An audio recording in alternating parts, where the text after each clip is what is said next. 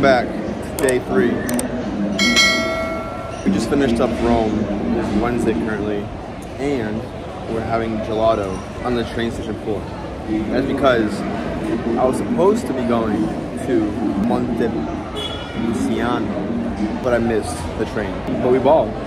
So now I said screw it, and now we're going to Orbetello. I think it's on the west coast by the water. Hopefully we don't miss that train. I'm gonna eat this real quick before it melts all the way. And yes, I'm on my phone again because I haven't charged my camera. I just haven't had time. All right, that's our little proper introduction for this day. So as you saw guys saw yesterday, went to Colosseum, went to the Spanish Steps. Kind of did. it. I mean, the night before I went and explored Rome at night, which is way better than it is during the day. I suggest if you guys come to Italy, explore, go to like four in the morning, five in the morning, no one's around. It's just a lot prettier. But now today, like I said, we missed our first train to Monte Luciano. The next train ride was till like four o'clock, so I was like, ah, I'm not waiting.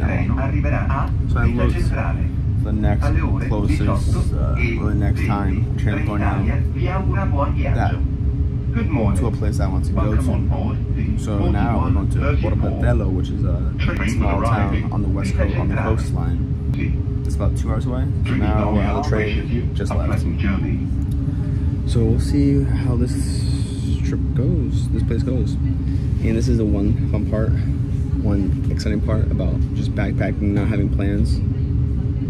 Dal 5 Miss a train, so biglietto what? On to the next thing. Not gonna worry about it. viaggiare con il So now, massimo della flessibilità. Acquistalo we're gonna be exploring a whole new town e app Trenitalia that e fai check-in I wasn't expecting to go to. Maggiori Um, informazioni and honestly, I'm super excited. right now it's pretty hot out. It's like in the high 80s, so maybe I'll take a dip in the ocean.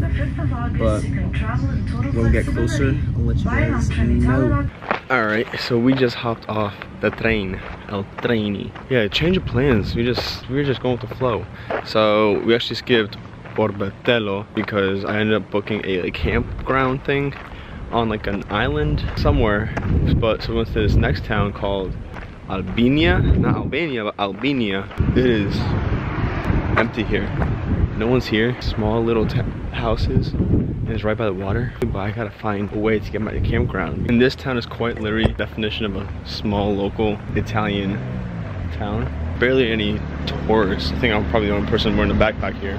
And I don't know how I'm gonna get to my place because there's no buses that I've seen. Um, there's no taxis. So I might have to just walk. That's like two hours, so I'm not really wanting to do that. Possibly find like a moped to rent or a bike to rent. This is one of the struggles of finding a very cool place, but getting there is another challenge. So just ask for help. They said I need to go to a bus station, but when I looked on my phone, they said the bus station wasn't operating till like tomorrow, but there are people there, so follow the crowd, I guess, kind of go the flow. So I've decided to just walk to our campground because I was been waiting for about an hour for the bus. The bus did show up, but not the right bus. So now we've got about an hour and 20 minute walk to this place. At least we have a nice view. Sure, worth it. Be by the beach. This is the one part backpacking that's probably not the most fun, but uh, it'll definitely be worth it. So, as you can tell, I'm trying to sweat. But we are probably like an hour into our walk. Now I can hear the water. Right now I'm on like a strip of land or like an island that connects to the inland to some type of big island. In between, it's a long road. We got about another 30 minutes. And I should be able to get the beach right at like sunset. So go to my campground, get checked in, and then go to the beach. And then the main town is still, it's pretty much at the other side, at the very end. I'm gonna see if the campground has like a bike or like if they got rides or something. I could try to wait down a car, but I'm kind of enjoying this walk. We finally made it to Giannella Camp. So let's see what it's all about. Pretty cheap. I got like 50 bucks for the night. So we just got checked in, got quick water, and a croissant that I already ate that up. But look at this little camper, 50 bucks. I think it's like 65, like 55. So, where am I tripping? Ah, okay. Oh my god, what's happening? Ah. Oh my god, my camera.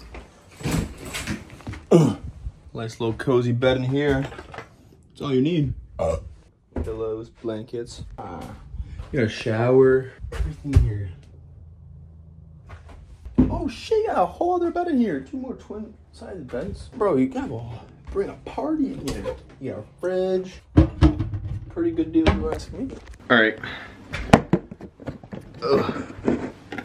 This place is pretty dope. Um a lot cheaper than my hostel I was out two nights. And this is I was with four people. This single three bedroom, a private bathroom, an AC in here. The hostel didn't have AC. I'm not really sure how to, to speed up on this.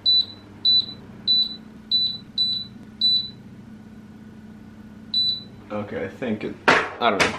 I like it. Cheap, cool. And TV goes here, but I got one of those. Our whole little like deck.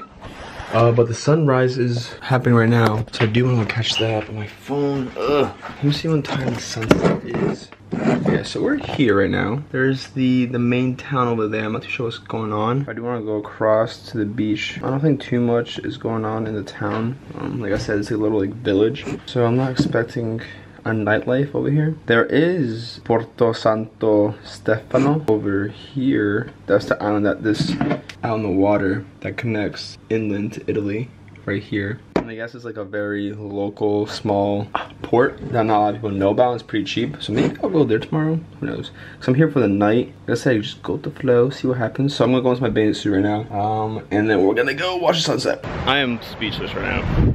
Once I turn this camera around, you guys are gonna be in shock.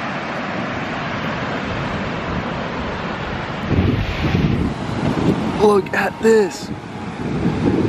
What? There is no way.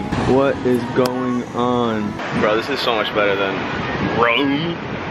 Rome's cool, but look at this. No, there's not even busy over here. No tourists. Actually, it's just a secret. And that over there in that town, over there somewhere, that's where uh, the other Porto something. I am in shock right now. I kind of want to swim in there. Five degrees and a dope sound. All you need to live fine, to live fine. A little sunshine, cause she need it. A dose of rainfall in the evening.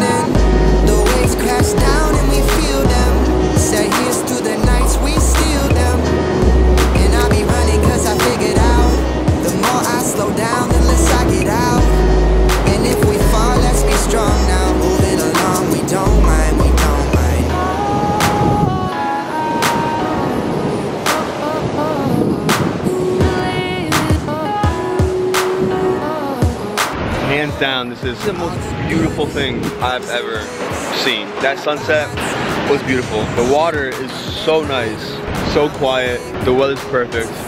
If you want to take that trip, take that trip. Not here though. Gotta keep it quiet. Gotta keep it a secret. I'm so glad I missed my train to Montepulciano or whatever.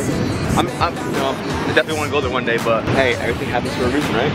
Look at this. When do you ever see this? I don't see this on, on the US, especially not in New York City. Just no one's here. That's the crazy part. There's a guy fishing right there, probably catching dinner. You're right. So we just made it back to the camper or, or cabin or whatever you want to call it. Um, yeah, so I went back to the, the main office and said I can't rent a bike during the night. So I'm stuck here. I think uh, I'm gonna take a shower first. Maybe like a restaurant or something. Uh, actually, there's a ristorante pizzeria. Yeah, let me take a shower, charge everything, change. That was by far the best part of the trip so far. Say honestly. that was just like bread. Um, and I'm glad I missed my train to Montepulciano, whatever, and I chose this place because I would not have seen this ever. But I do de- definitely want to go check out Tuscany or whatever area. Um, I mean, this is considered Tuscany as well, but like the coastline. All the good comes in waves. I buy my time by the ocean, and at night I'm awake to feel the wake. Alright, so we just came back from dinner. Pasta del ragu and some type of chocolate cake thing. I'm not too sure. But um, it was alright. And then I got a apple spritz for the first time. Eh, not the biggest fan. Now it is currently 9:30, and it's gonna be a chill one today. Cause yesterday, past two days, been you know up super late doing going out, which is fun. But doing that back to back to back. ugh. So after dinner, I actually grabbed an Italian beer, Bera Bera Moretti. Oh my god, I don't even know. And then their version of potato chips. Man, I don't ever eat, have any of this stuff back home, but when in Rome, right?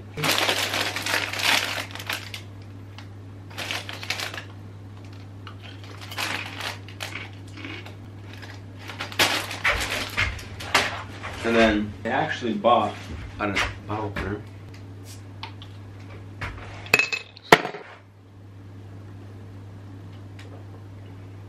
One thing I've noticed, Italian, or whenever I'm in Europe, I don't know if it's just Italian beer, I actually enjoy the beer. I don't enjoy beer back home really, but it's pretty good. Or better than most beers.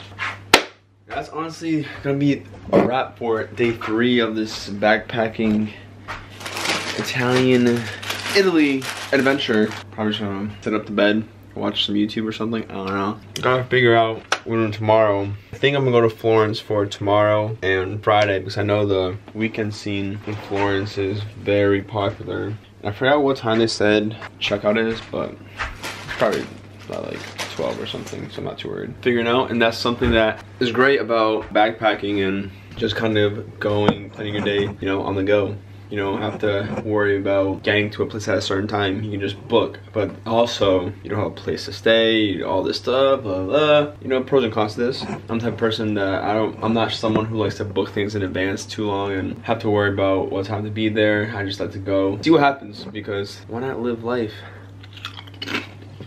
on the edge. I'm gonna call it a night and I'll see you guys on day four. It's already day four. Huh. But um, as always, stay the black sheep of society. Go left everyone else going right and be different. And never ever let anyone tell you otherwise. And as always get active. I'll see you guys tomorrow. Peace